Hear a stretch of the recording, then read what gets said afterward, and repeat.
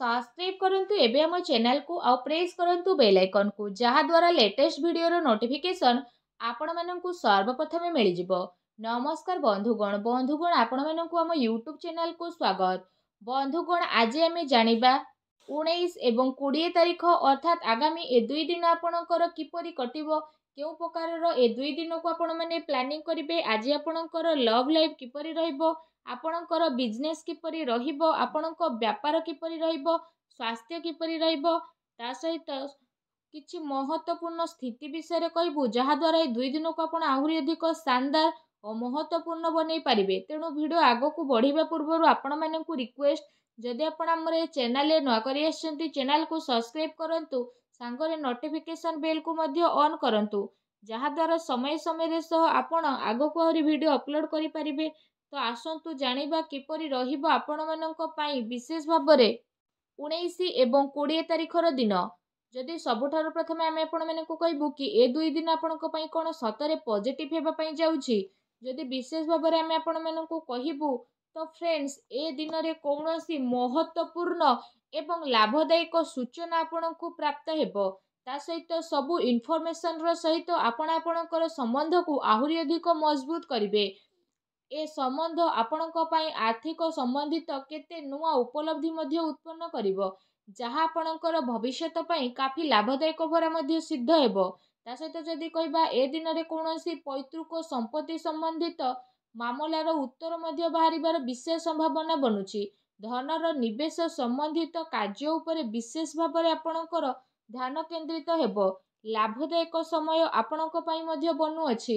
ଏହାର ଆପଣ ଭରପୁର ସଦୁପଯୋଗ କରନ୍ତୁ। ତା ସହିତ କର୍ମ ଧର୍ମ ଏବଂ ସାମାଜିକ ସେବା ସମ୍ବନ୍ଧିତ କାର୍ଯ୍ୟ ପ୍ରତି ମଧ୍ୟ ଆପଣଙ୍କର ରୁଚି ରହିବ। କୌଣସି ବି କାର୍ଯ୍ୟକୁ କରିବା ପୂର୍ବରୁ ତା ଉପରେ ଆପଣ ଧୈର୍ଯ୍ୟର ସହିତ ଛାନଭିନ କରନ୍ତୁ।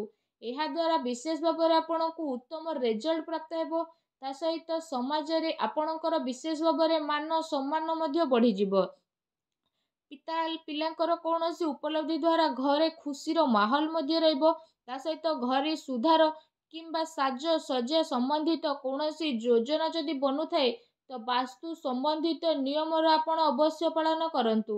ତା ସହିତ ଯଦି କହିବା କୌଣସି ମିତ୍ରଙ୍କର ଖରାପ ଟାଇମରେ ଆପଣ ତାର ସହଯୋଗ ମଧ୍ୟ ପ୍ରଦାନ କରିବେ ଯାହାଦ୍ୱାରା ଆପଣଙ୍କୁ ଆକସ୍ମିକ ଖୁସି ମଧ୍ୟ ପ୍ରାପ୍ତି ହେବ। ଏହା ସହିତ ଆପଣଙ୍କର ନିଜର ଲୋକଙ୍କ ଦ୍ୱାରା ବିଶେଷ ଭାବରେ ଅଧିକାର ଅଧିକ ରହିବ ଯାହାଦ୍ୱାରା ସମାଜରେ ମାନ ସମ୍ମାନରେ ବୃଦ୍ଧି ଘଟିବ।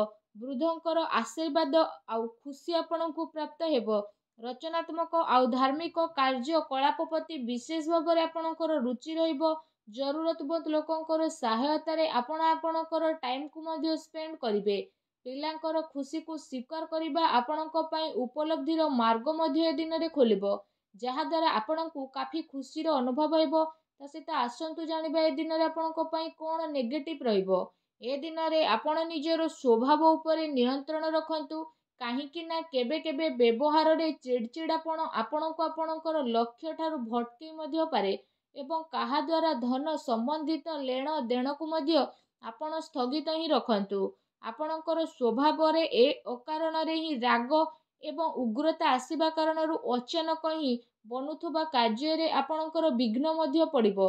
ସେଥିପାଇଁ ଆତ୍ମ ଅବଲୋକନ କରିବାର ଅତି ଆବଶ୍ୟକତା ରହିଛି ଏବଂ ନିଜର କୌଣସି ଯୋଜନା ଉପରେ କାର୍ଯ୍ୟ କରିବା ପୂର୍ବରୁ ତା ଉପରେ ବହୁତ ଭଲ ଭାବରେ ଭାବି ଚିନ୍ତିକି କାମ କରନ୍ତୁ। ପିଲାଙ୍କର କୌଣସି ସମସ୍ୟାକୁ ନେଇକି ଏ ଦିନରେ ଆପଣଙ୍କର ଚିନ୍ତା ରହିବ ତାକୁ ମାର୍ଗଦର୍ଶନ ଦେବାର ଆବଶ୍ୟକତା ରହିଛି। ଘରବାଡ଼ି ସମ୍ବନ୍ଧିତ କାର୍ଯ୍ୟଭାରକୁ ଆପଣ ବହୁତ ଅଧିକ ସମ୍ଭାଳିକି ହିଁ ରଖନ୍ତୁ।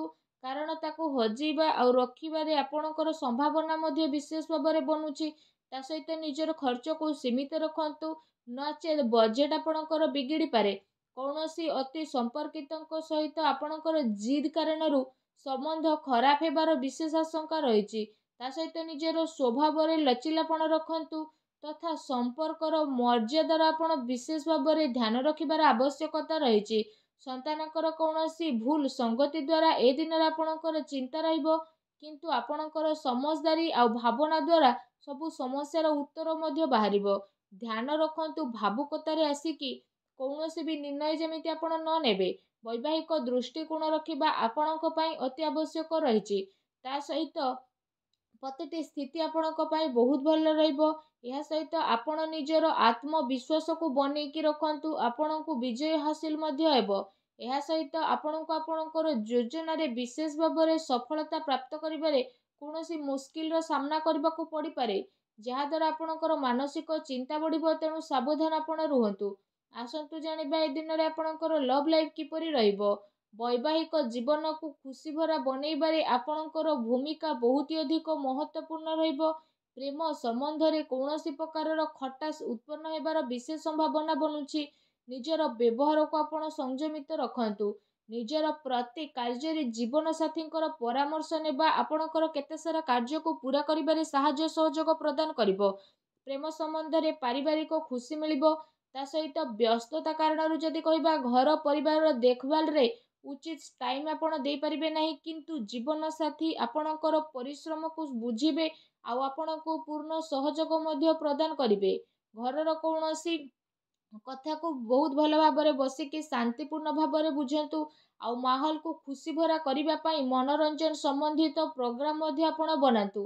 ଏହାଦ୍ୱାରା ଆପଣଙ୍କ ପ୍ରେମ ସମ୍ବନ୍ଧ କାଫି ମଜବୁତ ରହିବ ଆଉ ପ୍ରେମ ଜୀବନରେ କାଫି ଗଭୀରତା ଦେଖିବାକୁ ମିଳିବ ଆଉ ଆପଣଙ୍କ ବୈବାହିକ ଜୀବନ କାଫି ଖୁସି ଭରା ରହିବ।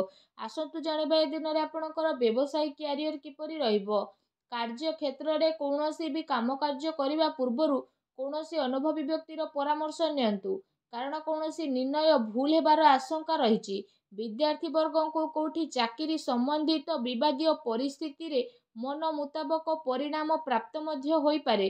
କୌଣସି ବିଶିଷ୍ଟ ବ୍ୟକ୍ତିଙ୍କ ସହିତ ସାକ୍ଷାତ ମଧ୍ୟ ଆପଣଙ୍କର ହେବ ଏବଂ ତାର ପରାମର୍ଶ ଆପଣଙ୍କ ବ୍ୟବସାୟ ପାଇଁ ଅଧିକ ଫାଇଦାମାନ ତଥା ଲାଭଦାୟକ ଭରା ରହିବ। ଏହା ସହିତ ଏହାର ବହୁତ ଅଧିକ ଆବଶ୍ୟକତା ମଧ୍ୟ ରହିଛି। ତ ଏ କଥାର ଆପଣ ଅବଶ୍ୟ ଧ୍ୟାନ ରଖନ୍ତୁ।